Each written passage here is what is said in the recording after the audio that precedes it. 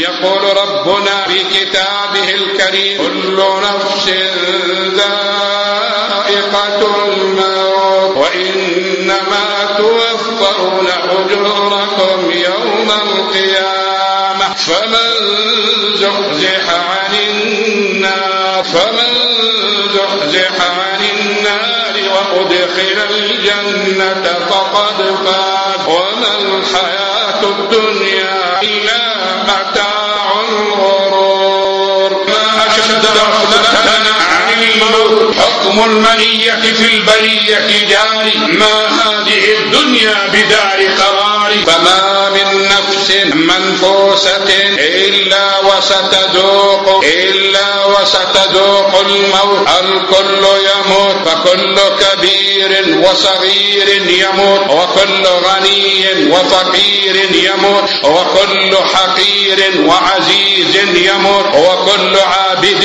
وزاهد يموت وكل نبي وولي يموت وكل تقي وشقي يموت وكل إنسان سيموت وكل إنسان سيموت فلا يتفرد بالديمومة والبقاء إلا الله ذو العزة والجبر تبارك وتعالى والمرجع إلى الله والمآب إلى الله والمصير إلى الله تبارك وتعالى كل باك فسيبكى وكل ناع فسينعى وكل وكل مذكور سيفنى وكل مذكور سينسى ليس غير الله يبقى ليس غير الله يبقى. من علا فالله أعلى. لا شيء مما ترى تبقى بشاشته. يبقى الإله ويفنى المال والولد. لم تغن عن هرمز يوما خزائنه والخلد قد حاولت عاد فما خلدوا ولا سليمان إذ تجري الرياح له. والإنس والجن فيما بينها ترد. أين الملوك التي كانت لعزتها؟ من كل أوب إليها وافد يفد.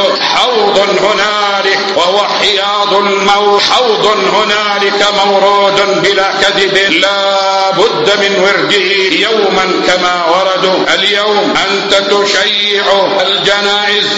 وغدا أنت المشيع اليوم أنت تحمل الجنازة وغدا أنت المحمول. كل ابن أنثى وإن طالت سلامته. يوما على آلة حدباء محمول فإذا حملت إلى القبور جنازة فاعلم بأنك بعدها محمول. أيها الناس لو كان أحد سينجو من الموت لنجا محمد رسول الله صلى الله عليه وآله وسلم. ولكن الله قال له إنك ميت وإنهم ميتون. ثم إنكم يوم القيامة عند ربكم تختص